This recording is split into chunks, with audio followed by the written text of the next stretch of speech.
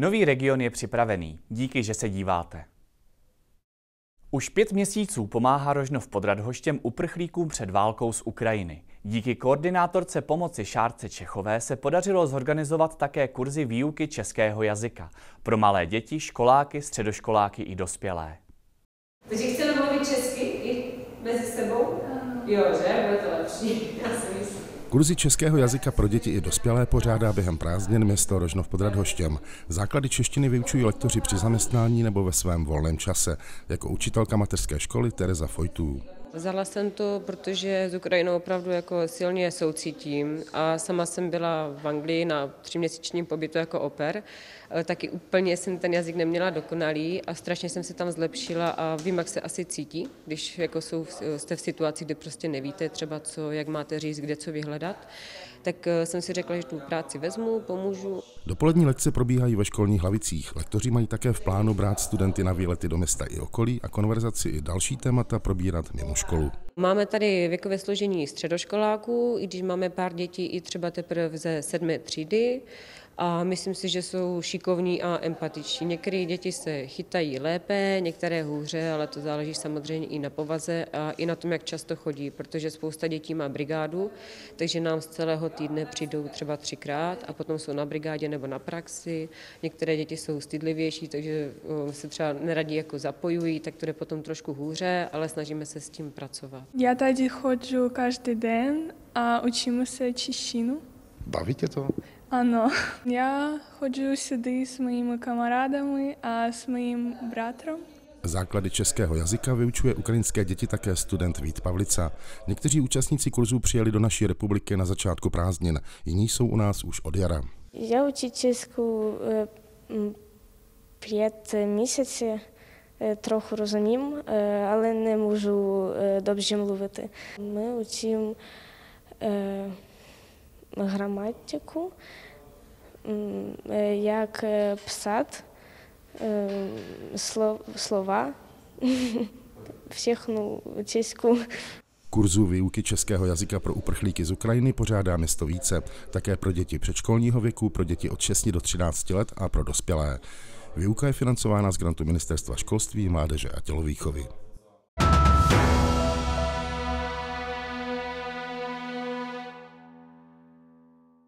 Jak zajistit místo činu, jak pomoci zraněnému nebo jak vyšetřit vraždu.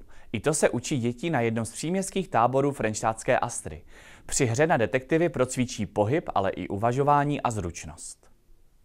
Detektivní kancelář i příměstský tábor s tímto názvem a netradičními pohybovými i dalšími aktivitami uspořádalo Frenštátské centrum volného času Astra. Děti si právě osvojují činnost prolézání laserovou sítí. Jakožto správní detektivové se musí umět vyhnout různým nástrahám a nepozorovaně prolézt k nepříteli do bunkru nebo do nějaké místnosti a zase nepozorovaně se vyplížit zpět, tak právě teďka probíhá jejich agentský výcvik.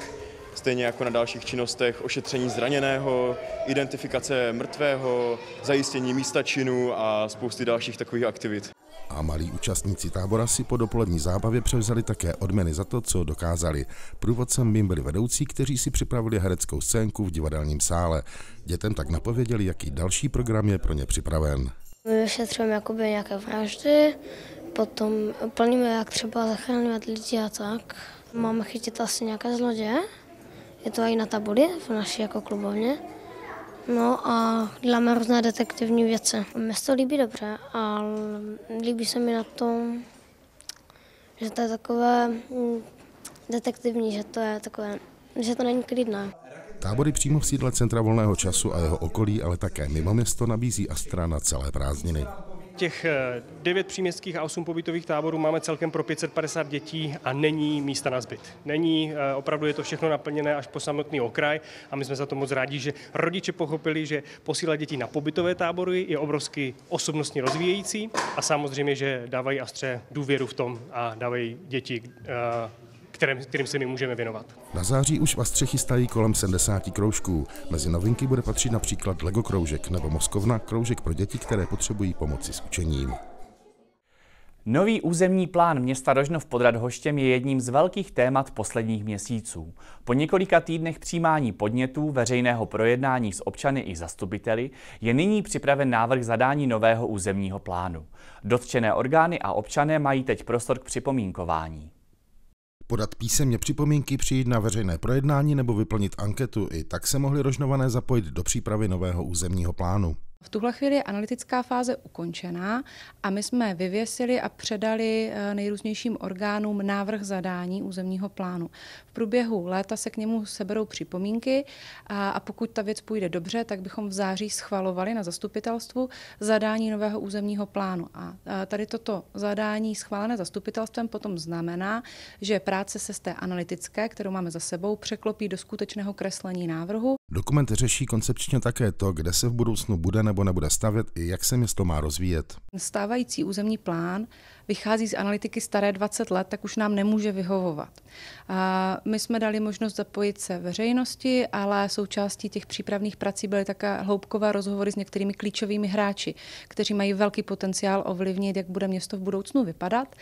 A, a toto jsou aktuální data. Nikoli ta stará 20 let, nikoli třeba predikce, kolik obyvatel budeme mít. Před 20 lety to bylo úplně jiné. Obecně totiž obyvatel města ubývá. Na druhou stranu vidíme, že Rožnov dál plní eh, jakousi funkci centra pro celý ten mikroregion a že se vlastně role toho města pomaličku proměňuje, stejně jako se proměňuje role těch okolních obcí. Tohle už jsou věci, které v tom novém územním plánu mohou být zohledněny. Dokument, který Rožnovská radnice připravuje, řeší také uspořádání města, jeho zasazení do krajiny i koncepci rozvoje celého území do budoucna. O dalších krocích při přípravě územního plánu rozhodnou v září zastupitelé.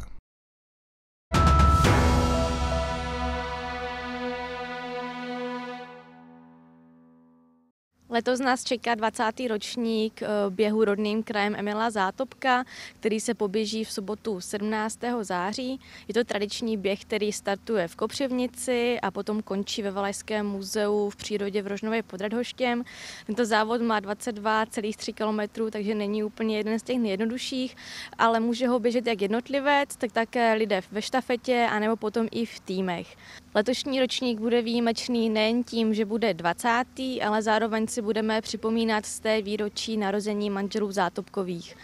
K tomu se připojuje i bohatší doprovodný program, než bylo v loňských letech a samozřejmě nezapomínáme i na děti, takže budou tradiční dopolední eh, běhy v muzeu. Kdo se chce přihlásit a nebojí se toho, má možnost do 14. září a veškeré informace k registraci i podrobnější informace najde na www.zátopkůvběh.cz. Z regionu je to ode mě pro dnešek vše. Děkuji za pozornost a brzy opět na viděnou.